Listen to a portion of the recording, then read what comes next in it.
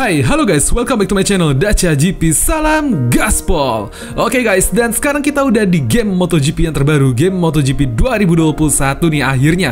Setelah kemarin nungguin buat downloadnya lama banget cuy Di PHP sampai jam 11 lebih baru bisa download. Nah di video kali ini yang pertama kalinya Gue nggak bikin first impression dulu Tapi gue mau kasih ke kalian untuk kompilasi dari bike retrieval atau crash compilationnya. Yuk, langsung aja kalian semoga enjoy dengan video MotoGP kali ini yang pertama ya guys. So langsung aja kita bareng-bareng yuk, here we go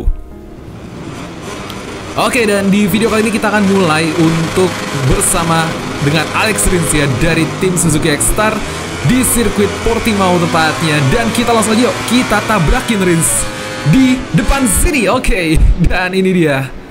Oke ini kalau misalnya ini sebenarnya impresi ya jadi ini gue nggak sambil live record gaming ya untuk suara gue jadi ini gue sembari impresi untuk bike retrievalnya karena ini kompilasi untuk bike retrieval sih di video kali ini. Nah sebenarnya ini kalau yang gue lihat dari bike retrievalnya di sini tuh uh, untuk angle kameranya emang ini benar-benar gak bisa digeser ke mana-mana. Jadi hanya fokus bisa ngelihat ke arah motor aja. Jadi ini kalau kita gerak ke kanan ke kiri dia tuh tetap titik tengahnya tuh ada di motornya ini. Nah ini kalau dibangunin pun juga kalau motornya jatuhnya terlalu apa ya ini juga agak aneh sih menurut gue sih. Angle kameranya tuh nggak terlalu bagus gitu loh. Dan ini benar-benar tergantung posisi jatuhnya di mana gitu. Jadi kalau posisi jatuhnya angle kamera nggak bagus ya dia akan tampil kayak tadi gitu. Karena sudutnya terbatas kepentok sama pinggir sirkuit gitu loh guys. Oke ini coba jatuh sekali lagi bersama dengan Alex Rins karena di sini kita akan mau cobain juga untuk fitur terbarunya. Ya selain ada bike retrieval nih yang kayak gini yang di mana di sini kalau kalian lihat nih bajunya si Rins makin kotor. Udah pas di crash kedua ya. Jadi di crash yang pertama sama crash kedua ini beda banget cuy. Crash yang pertama itu baju nggak terlalu kotor yang kedua ini bener-bener kotor banget. Dan ini sebenarnya kalau misalnya kita jalan ya ini sebenarnya bisa lumayan jauh sih dari lokasi motornya gitu. Tapi di sini kita akan coba ya. Di sini main gue itu yang fitur black flag black flagnya itu. Ya jadi kita mau lihat nih di sini kalau black flagnya itu seperti apa? Dan mau lihat juga yang pertama kali di sini ya kalau misalnya ada rider yang lain nanti melintas ya kira-kira rider itu bisa nabrak si orangnya atau enggak? Apa jangan-jangan nembus aja gitu kayak setan? Yuk ini langsungnya kita lihat ya untuk yang rinsnya kita akan coba ya yang pertama kali ini untuk uh, harakiri atau bunuh diri nih. Ya sebentar lagi ridernya akan datang. Ya kelompok rider ini akan datang kita akan lihat aja nih apakah mereka akan nabrak kita atau jangan-jangan kita bisa ditembus dengan sangat baik nah ini dia black flag keluar ya udah mulai countdown 7 6 5 dan kita oke okay, dan ini nembus cuy oke okay. Yes, langsung aja kita move ke rider berikutnya. Kita akan menggunakan Mark Marquez kali ini di rider berikutnya. Terutama ini untuk sirkuit tadi Heres ya. Jadi di sini kita langsung aja akan melihat apakah ada perbedaan antara bike retrievalnya Mark Marquez dengan Alex Rins. Kita tabrakin langsung di sini. Tiga pertama dan itu dia banyak banget rider yang crash cuy. Oke dan di sini kalau misalnya kalian lihat uh, apa ya dari crash itu kayak kurang fleksibel gitu sih kalau gue lihat ya. Orangnya tuh jatuhnya kayak kurang natural. Nggak kayak di MotoGP 2020 gitu. Jadi kalau di sini gerakannya kayak masih agak sedikit kaku. Dan angle kameranya kalau di MotoGP 2020 itu kan dia fokusnya ke mana? Ke orangnya gitu ya. Bisa juga ke motor tapi ke motor itu biasanya dari view kamera yang ada di apa di dashboardnya atau dari iya biasanya di dashboard kayak gitu ya. Kalau misalnya biasanya harusnya tuh ke orang tapi kalau di sini nggak. Dia tuh angle kamera tuh ngadepnya ke apa namanya ke bike-nya gitu ke motornya. Nah ini dia dan ini juga kita terbatas ya nggak bisa keluar keluar dari sirkuit. Dan ini emang rata-rata kalau misalnya buat bangunin motornya ini kalau kondisinya baru damage aja ini bener-bener langsung nggak bisa dibangunin cuy. Oke dan langsung kita masuk ke yang berikutnya. Di sini kita akan menggunakan Quartararo ya di sirkuitnya di Mugello. Tepatnya di Italia ya dan di sini kita lihat aja nih. Kita akan coba tabrakin lagi si Fabio Quartararo di tikungan pertama lagi kali ini. Oke langsung kita tabrakin di sini. Bam. Oke tadi dia kayak lumayan banyak korban. Ini Rossi keseret-seret dong cuy. Dan tuh benernya kan? Ini kalau yang kelihatan tuh sebenarnya nggak bagus ya. Gak enaknya tuh angle-nya ngadepnya ke motor gitu. Jadi kita nggak bisa lihat orangnya guling-gulingannya tuh. Nah kayak di sini lihat tuh. Ini motornya motor si siapa? Jack Miller ini kalau salah atau Peko Ya tapi lihat tuh, jadi ini angle kamera tuh benar-benar ke motornya yang disorot gitu. Jadi kita nggak bisa ngelihat guling-gulingan dari orangnya. Sayang banget sih sebenarnya kalau misalnya kita bisa ngeliat dari orangnya mungkin akan jauh lebih menarik juga ya. Jadi harusnya mungkin ada pilihan nih bisa ngelihat dari sisi orangnya atau bisa lihat dari sisi si uh, ridernya gitu. Eh sorry, rider atau dari motornya gitu ya. Jadi harusnya ada pertimbangan seperti itu sih untuk di reply camnya tepatnya. Oke, dan langsung aja kita kali ini akan langsung lagi kita akan coba bangunin motornya si Fabio Quartararo dan di sini kita akan coba jalan-jalan dulu Oke, dan ini dia bike retrievalnya dari si Fabio Quartararo. Oke, di sini kalau kita lihat sih sebenarnya hampir mirip ya semua animasinya. Setiap rider ini nggak ada perbedaan sama sekali buat bike retrievalnya. Nah, tapi buat angle bangunnya ini bisa jadi beda-beda. Nah, ini dia. Angle bisa berubah tergantung kita dari sisi mana ngeliat motornya gitu. Nah, dan ini bener aja. Emang rata-rata ini kalau kita damage on gak bakal bisa dibangun cuy, walaupun cuma light doang. Oke, dan di sini kita lanjut lagi menggunakan si Valentino Rossi. Untuk yang berikutnya, di sini kita sirkuitnya di San Marino tepatnya. Dan ini crashnya bener-bener parah banget sih cuy.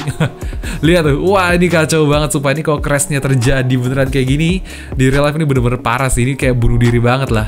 Lihat aja tuh, wah mantap banget. Dan Marquez juga sampai keseret dong. Dan ini sayangnya ya kita lagi-lagi nggak bisa ngelihat sih kok dari rider camnya ya kalau untuk race-nya. Dan kita langsung aja coba untuk retrieval-nya si Valentino Rossi. Dan ini juga nggak ada yang spesial sepertinya, tapi di sini ada hal yang kocak guys yang mau gue kasih ke kalian. Jadi ini motornya pas banget jatuhnya deket dengan kameramen dan ini lihat dong, kita malah di foto-fotoin. Wah kacau banget sumpah. Rossi jatuh malah di foto-fotoin dulu. Uh, semangat banget kan foto-fotonya gila bener. Duh, kacau banget kacau. Tapi ini salah satu apa uh, improvementnya cukup baik sih ya. Jadi ada movement di reporternya ya, terutama di kameramen itu keren sih lumayan di sini bisa buat foto-foto ala-ala gitu. Oke, dan langsung aja kita move lagi ke rider yang berikutnya.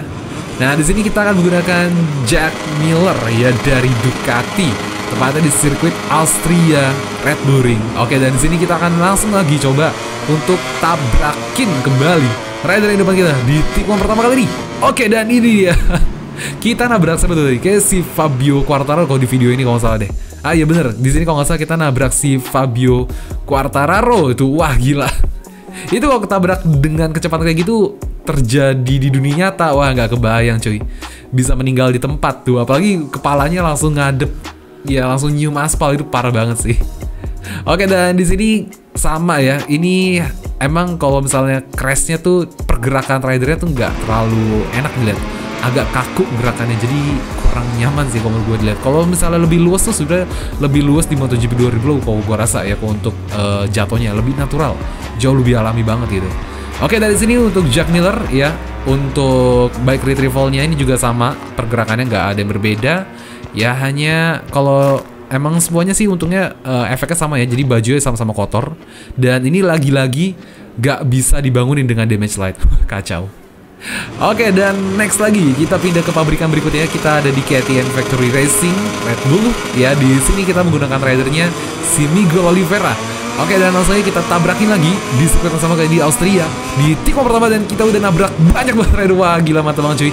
Dan ini sebenarnya jujur di MotoGP 2021 nanti kalau kalian coba main juga ya guys ya ini bener-bener uh, nabrakinnya tuh beda banget lebih sulit dibandingin MotoGP yang 2020. Jadi kalau MotoGP 2020 kalau misalnya kita nabrak ban belakang aja, itu biasanya rider langsung udah jatuh ke karuan. Lah kalau di sini tuh enggak guys. Jadi nyenggol tuh belum tentu jatuh, percaya deh. Jadi ini tuh tingkat crashnya menurut gue jauh lebih sulit gitu ya. Nggak segampang MotoGP 2020 untuk crashnya.